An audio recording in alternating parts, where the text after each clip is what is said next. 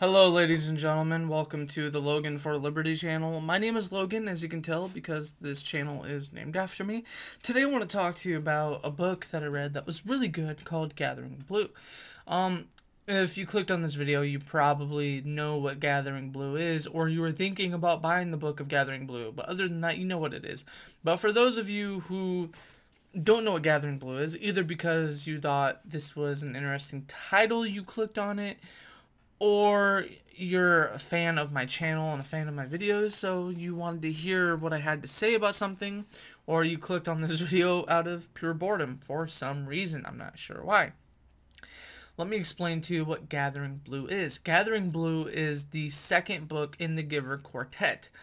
Um, it's called the Giver Quartet. It's a set of four books, obviously. It's called the Giver Quartet because the first book in the series is called The Giver, which was written in the 90s. I believe 1993. Don't quote me on that. I could be wrong. Nonetheless, The Giver is the first book in the series. And eventually, Lois, Lois or Lewis Lowry eventually got around. I believe it's Lois. Eventually got around to writing Gathering Blue. And then she wrote after Gathering Blue, Messenger, and then Son. But I just read Gathering Blue. I read it less than a week.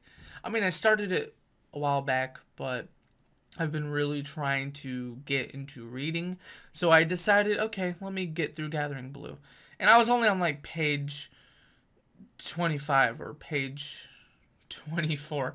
I was barely past chapter 3, basically. So I read the book and I told myself, all right, I'm going to start reading, obviously, for the benefits. And let's just say I could not put this book down.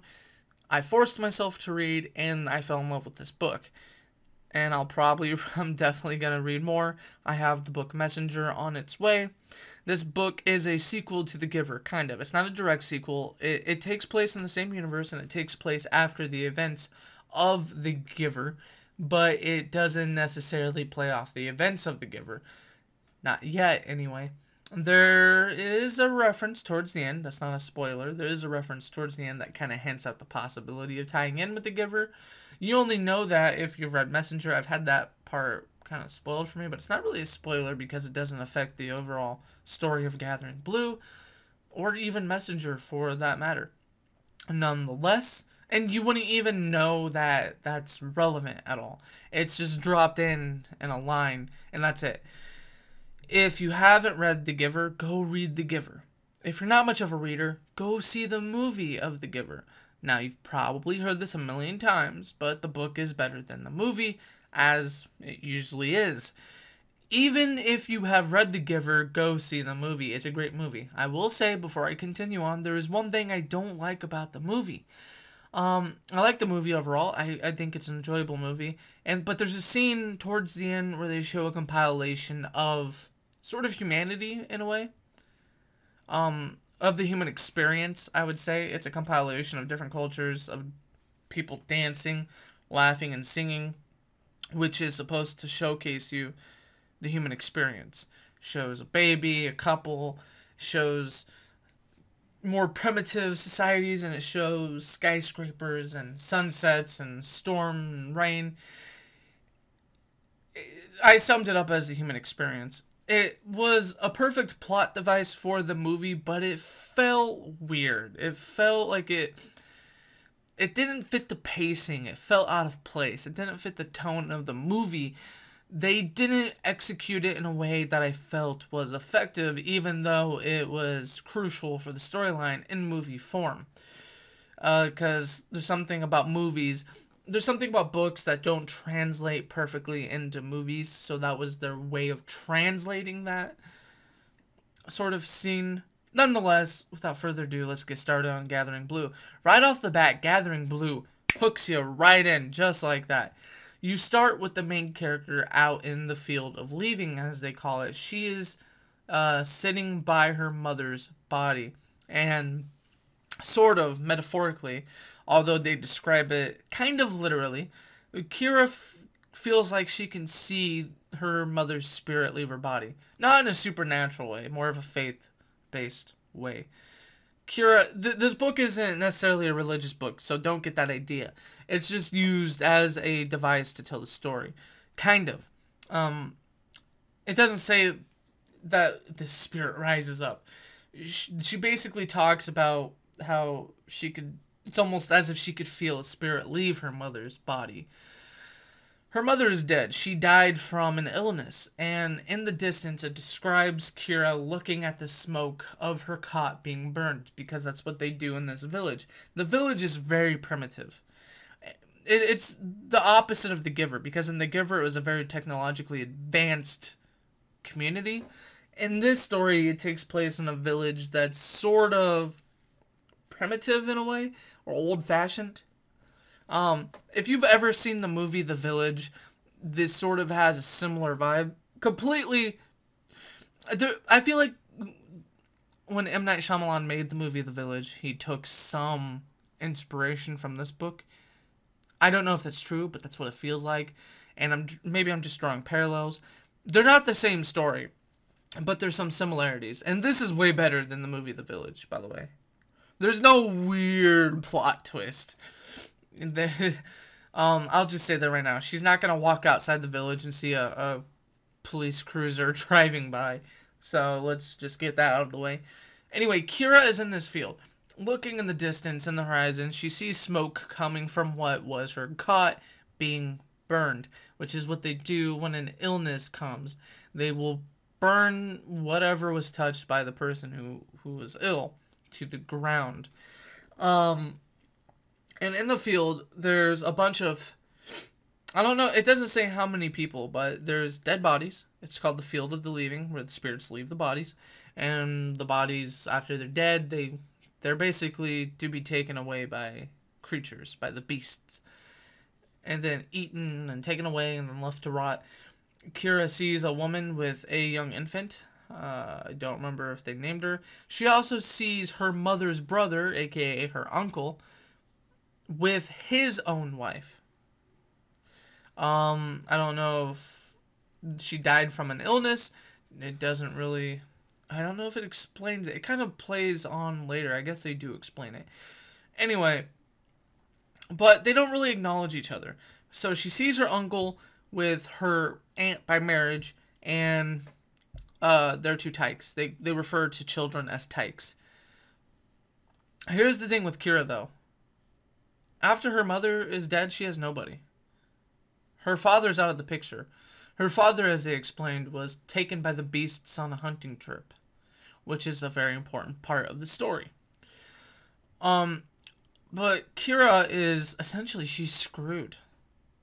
And let me explain why. She has a bent leg, a crooked leg. She has a club foot, basically. So one leg is almost useless, and if she stands on it too long, it pains her. So she has to walk with a cane. Nonetheless, after several days, because she's been with her mother's body for several days, she walks back to where her cot's going to be and she's going to rebuild it. She doesn't know how she's going to do it, but she's going to do it because she wants to live. Because in the village, what they do to people who aren't useful or who have deformities, they take them to the field to be taken by the beasts. They basically leave them there to die. And they describe a scene when because Kira is remembering her mother Katrina and one of the stories that her mother told her about when she was a kid, when she was a baby, and men came to the cot and they were going to take her away because of her bent leg, because she was going to use more resources than she could be productive. She was going to consume more than she could produce. She was useless. She was flawed. So they were going to take her as a small child or as a baby, but her mother defended her, and her mother was kind of important, and her father, before his death, was an important man too. So they decided to let her stay. They made an exception. Anyway, Kira's walking back to her cot, and uh, she meets a young boy named Matt. Matt, well, she doesn't meet him, but she runs into him. Matt is a friend of hers. Matt comes from a place called The Fen, which is a place within a village. It's basically the slum in the village, which is kind of sad because the entire village is basically a slum, so it's a slum within a slum. And this boy's dirty, and he has a dog with him named Branch that he calls Branchy. And Kira kind of sees herself in the dog, sort of. Not literally, but I guess yeah, uh, obviously not literally. Um, not as in she can she she feels like a dog or anything. The dog has a bent tail and the dog's kind of useless in a way. What happened was Matt found the dog branch. Um, well, he found the dog, and the dog was hurt. The dog was injured and left for dead and out in a storm. So Matt found the dog and he moved it underneath a shrub, underneath bushes, to kind of protect it from the elements.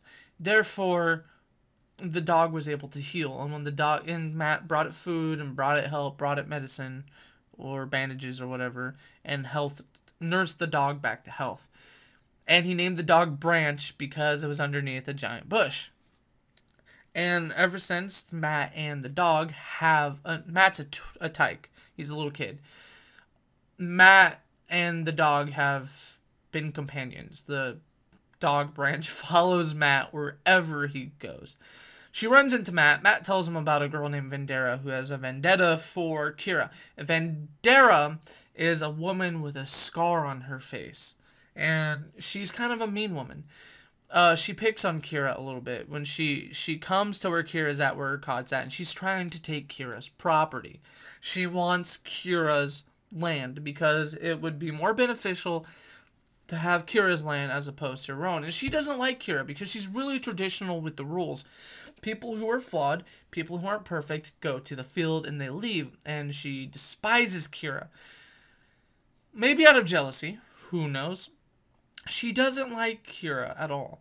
Um, and she's going to take her property, to hold her own tykes, to farm her own land, and basically take space away from somebody she deems useless.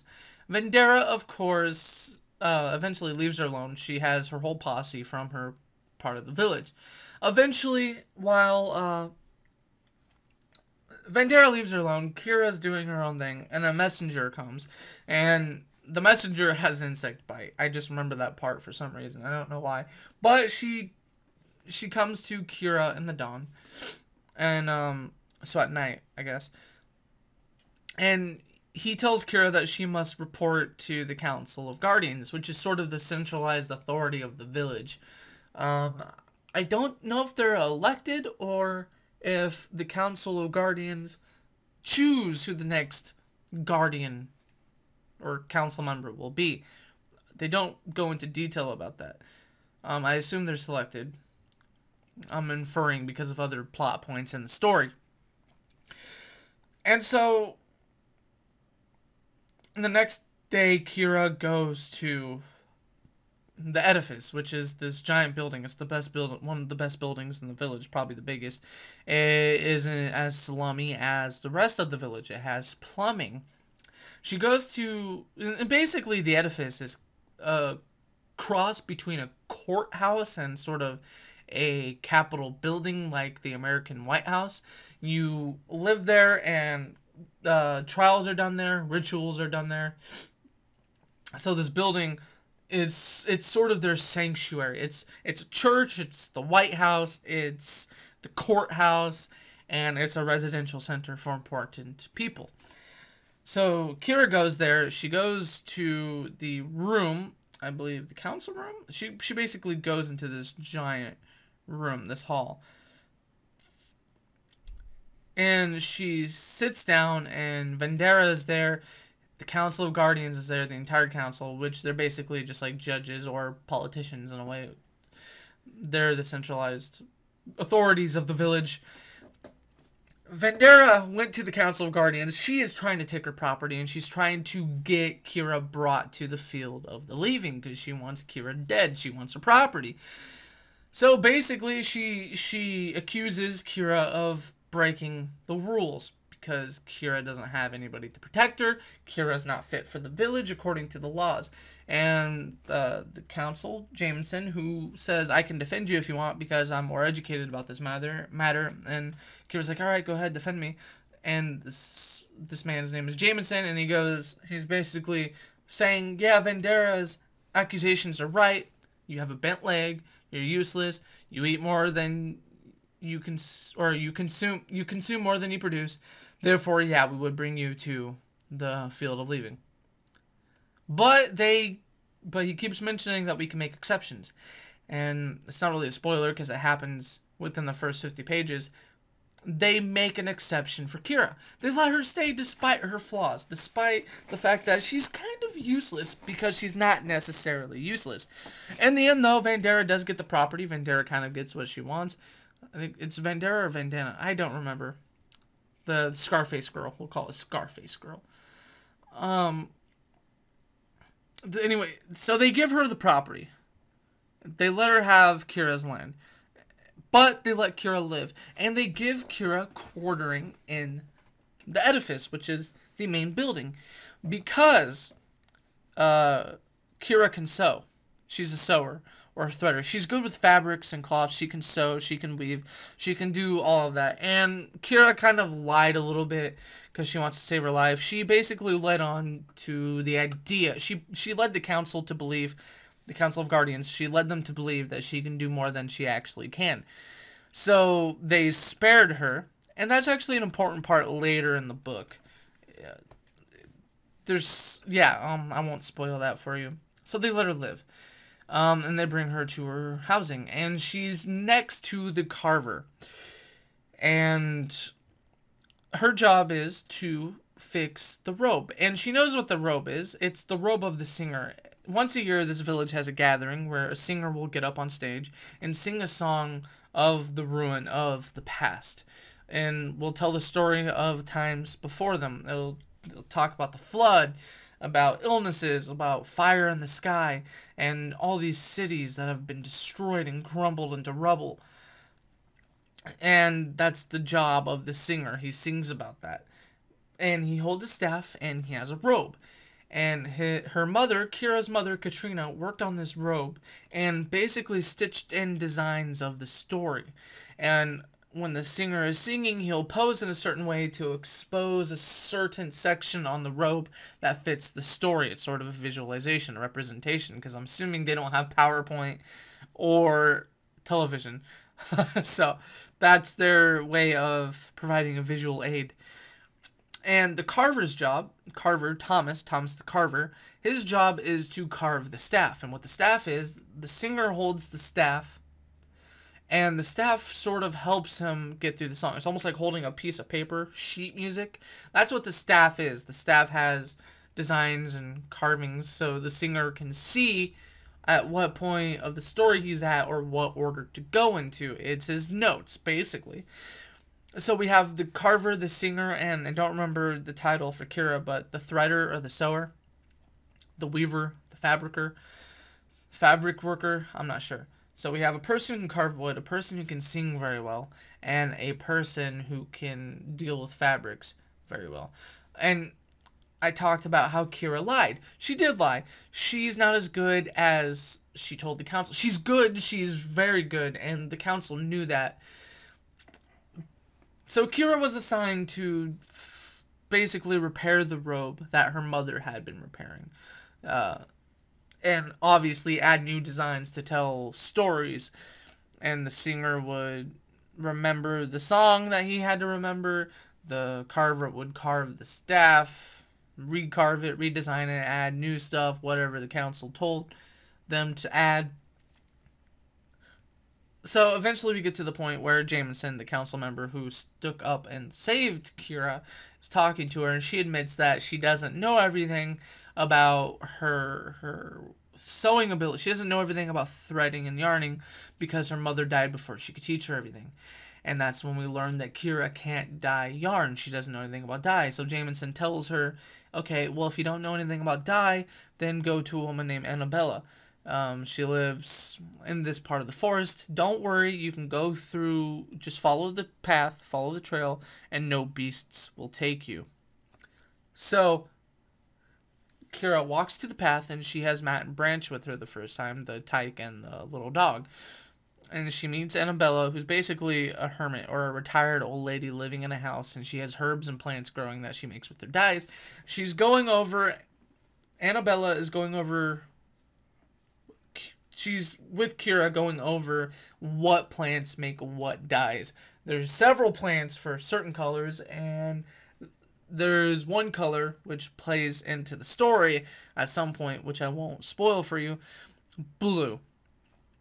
uh, the plant for blue isn't in the village. So she can't make a blue yarn. Anyway, Kira asks Annabella where the blue is, and uh, Annabella kind of points, saying over there, but you can't really go over there through the forests and whatnot. So here's a problem that we run into the story. Kira can't remember all of them, but she also can't read because women in this village are forbidden to learn how to read and write. So boys can read and write, only some can read and write. But because she befriends the carver Thomas that she eats breakfast, lunch, and dinner with, Thomas says, hey, um, I know how to write, so I can carve into wood. Um, the basically a list of things for you to remember. But Kira goes, well, I can't read or write, so how's that going to help me? And Thomas is saying, well, I can read it to you. So he carves down what Kira can remember. And then basically every day, Kira would go to Annabella to learn a new dye. She'd remember new stuff, write it down. Thomas would carve it for her. And in that way, Kira watching Thomas carve, she kind of, or write down with a pen, she kind of learned how to, I don't know, I think he wrote with a pen on some wood or a piece of paper. Nonetheless, she watches Thomas write, and she kind of learns a, a, few letters because there's some repeating letters. She learns through pattern recognition um, how to read some of what he's put down.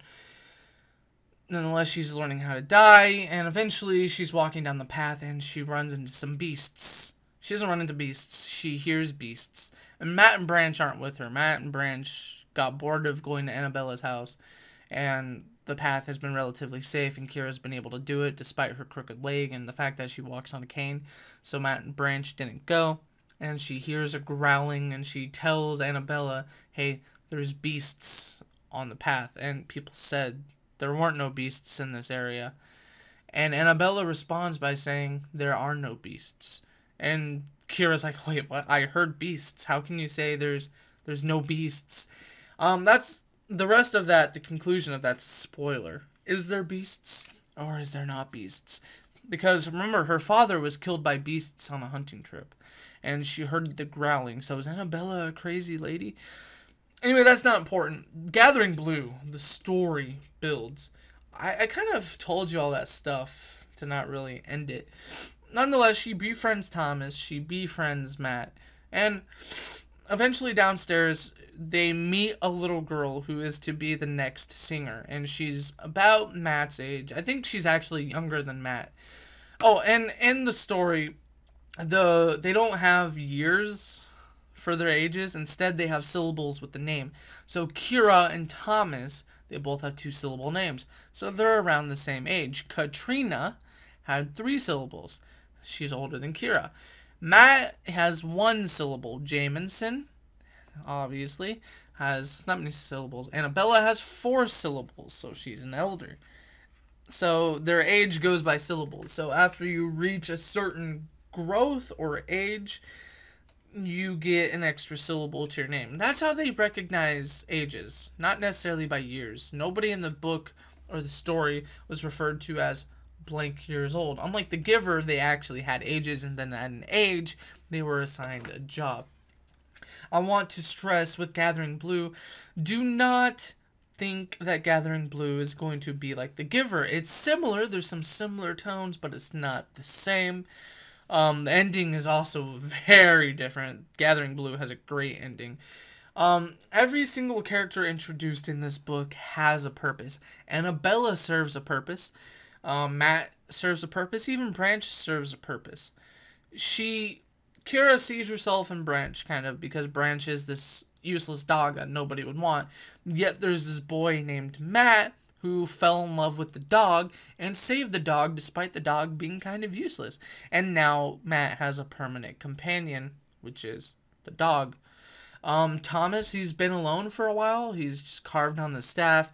Um, he kind of he gets headaches from doing his job even though he said he loved carving it was an art to him but he gets headaches working on this staff kira she has this cloth because she used to like to sew and weave when she was a little girl before she was assigned this job.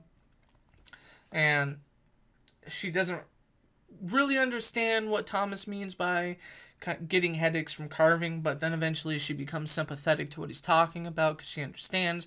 Matt, believe it or not, Matt and Branch, like I said, they serve a really important part of the story. Matt serves an extremely important part of the story. And Lois Lowry is amazing at this for some reason. She's just everything that she writes into the book ties in one way or another. It's the Gathering Blue is almost like Kira's ability to to weave and and sew. It all it there's these threads that don't really mean anything at first glance, but when you finish the book, it all comes together and connects. Of course, I believe Messenger takes place right after Gathering Blue. So Messenger is this book. Has a kind of a slow but steady build. Um, I didn't find myself bored. I found myself waiting in anticipation for, for what's going to happen next, and I couldn't put the book down. And then when I got to the end of it, I'm like, oh gosh, I have to go get the second or the third one. I have to go buy Messenger. I guess the second one as far as Gathering Blue goes. I'm trying to think what else because I kind of went on that tangent about what happens about Kira going to Annabella, which really led to nothing. In the book, it leads to something, but I can't talk about it too much to spoil it. Um, eventually, there's a problem, and Kira has to learn herself about how to dye things. Uh, maybe it's related to the beasts. Who knows? I can't really talk about much past that without spoiling it too much. Um, Thomas and Kira become close friends. They eat breakfast, lunch, and dinner together, and he sort of befriends Matt and Branch as a result of Matt and Branch being there for Kira. Kira finds some friends. Um, she hasn't really thought about her mother that much, which plays an important part in the story. Let me. I want to go into spoilers so bad. I'm not doing this book justice. Um, Kira goes through. She is a perfect example of the hero's journey in this book in a way. Um, like I said, this specific story in the Giver Quartet is a two-parter. I haven't read Messenger yet, but I know it takes place right after this book. So it's almost like if I could make an analogy between movies. Uh, Luke Skywalker. Star Wars A New Hope. Skilled, but kind of useless. I guess not useless. He blew up the Death Star. But um, his character in A New Hope is vastly different from his character in Empire Strikes Back and his character in The Return of the Jedi. For any of you Star Wars fans out there, vastly different. And Kira, while she she goes through a drastic change, she goes from being alone and fearful to hopeful and almost fulfilled in a way because she finds out what her job is going to be, what her calling is going to be. Because she kind of falls out of love with sewing, even though she loves it, which is directly related with Thomas, the carver, who gets headaches from doing his job, even though he loves carving. And, uh, sort of, there's a point where they're watching the singer, the, the elder singer, the main one, not the little girl who's probably going to replace him someday. There's something that Kira notices as she sees and she hears it, and there's something that in a, it'll explain it in the book, and you're just like, oh shit. Sorry for cussing. You're like, oh crap. That's that's wow, and it ties into the story. It doesn't have a dramatic ending as much as The Giver did because The Giver, that story arc was done. It had an ambiguous ending and it didn't have to be continued, but it was continued because why not? Because we got some great books. Gathering Blue, on the other hand, now it has a satisfying ending, but it needed a second book, which is what it got. Like I said, the Gathering Blue, it, to me, it's a perfect book. Almost, it's so amazing. There's so much playing. It takes what The Giver did well and added more and expanded upon it. In my opinion, The Giver was too short. I wish The Giver was longer. The Giver as a book, not necessarily a story. But I'm glad we got The Giver because The Giver was amazing, wrapped nicely. And then we got Gathering Blue, and right now, Gathering Blue, while it was wrapped nicely, there's so much more story to be explored in Messenger, and then at some point, eventually, Son. So, Gathering Blue can stand alone from The Giver, this specific book. But, you'll want to read the next one. I'm assuming. Well, I'm not assuming. I know you'll want to read the next one. I haven't read the next one yet, and I, I plan on talking about it. This book is so influential psychologically to me because Kira shouldn't be alive. She's alone. She's useless in this village. But at the same time, it sort of talks about centralized authority in a way. The dangers of having too much control in one place because they can be misguided, especially if they have the wrong ideas. And then they could sort of, because of the centralized authority, because it's really the village is at the at their they control it essentially. They can make exceptions which maybe aren't so good. And uh, since they're really not elected, they kind they're kind of dictators in a way. Although you feel safe with them, it's like uh, the moral dictator if there could ever be one. Kind of. Like I said, you'll have to read the entire book. They're kind of like moral dictators, though, which is sort of amazing. Also, it's sort of a look on uh, society, sort of. I don't. I, I, I hate to go on to this like more left leaning political agenda, uh, not political agenda, but political rant where society does it, it discriminates because I don't think it does. Um, I think it's more, I think it's more of a warning against like communism, because in basically Karl Marx's communism, the only way that you could try not Karl Marx's in general, but in a way that you could the only way that you could achieve this utopia is by weaving out the bad and the useless because you need productive people to take care of those who aren't productive. So in a way it's a look at that. It's a look at condensed tribal human nature in a way. It's it's basically saying I'm a human, here's a mirror and this is the story. That's what the story is centered around. Tribalism, uh, primitivism, uh, community, family, uh, adversity goals, passion, skills, and art. And the story covers it amazingly. I can't go too much into detail without spoiling it, and I've basically rambled on for about 30 minutes. And I don't know if I said anything of value, but I just really wanted to talk about this book because Gathering Blue is amazing. I hope you guys pick it up. I really do. Um I'll link it in the description box below for amazon.com read it or go to the library and see if they have it at the very least just read it. I bought the book and i am so glad that i bought the book because it is in my opinion a perfect book. It just touches upon so many things and the ending it's so emotional too. It it's there's this huge reveal it almost made me feel the same way that The Giver did. And I didn't think that Gathering Blue would do that because when because knowing that this was a sequel to The Giver in a way, knowing that there's other communities out there, I assumed that this community was just like the community in The Giver. And in a way, there's similarities, but for the most part, it's not. It's completely different. Gathering Blue is its own beast compared to The Giver. But with the way The Giver ended, I was like, all right, this is probably going to end like The Giver. And my expectation was subverted, but it was subverted for the better the execution of the subversion was great because I got to the ending of this book and I was like, wow, that is so good. I want to keep reading. I want to know what happens next. And I felt that way with The Giver, which is why I like this book because I expected the Giver type of ending, but I didn't get the Giver ending, but I got the same feeling with maybe a little bit of a more no, they both have emotional touches. This ending was amazing. It ends in such a perfect way. Kira has found her calling. She found her purpose in life. She found her purpose in the village. She knows what she needs to do.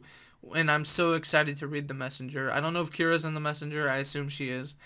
Um, I I'm excited to read that book because even though she found her true calling at the end of this book, it leads on to like there should be so much more. Because not only did she find her calling, but how is she going to do her calling? How cuz the ending of Gathering Blue sets up another problem. You see with The Giver it ends and you could have a sequel of Jonas, you know, doing what he did at the the ending of The Giver. Is he is he dead? Did he find the other another community when he heard the music? Should we go into that? But this this book, the ending, it's like, okay, here's this her Kira has found her meaning, which was the point of the story. So now we need to talk about how she's going to achieve her goal because she found her meaning, her calling. So how is she gonna do it now that she knows it? And that's I'm assuming that's the next book, and that's the story that I want to hear, which is why this book drew me in because I wanted to see Kira do something. I wanted to see her make it out of the village, but kind of like Jonas did in The Giver. But this book subverted my expectations in a fantastic way. I got everything I wanted, plus some that I got exactly what I wanted out of this book, out of this story arc, and it's amazing, and you should read it. Have a good day, guys. Thanks for watching my video. I hope you enjoyed it. If you want more content, don't forget to subscribe so you can check back and see more future videos regarding politics and culture. While you're at it, don't forget to hit the notification bell so you can be notified when a new video is uploaded. Also, check out my links to my Facebook and Twitter in the description box below.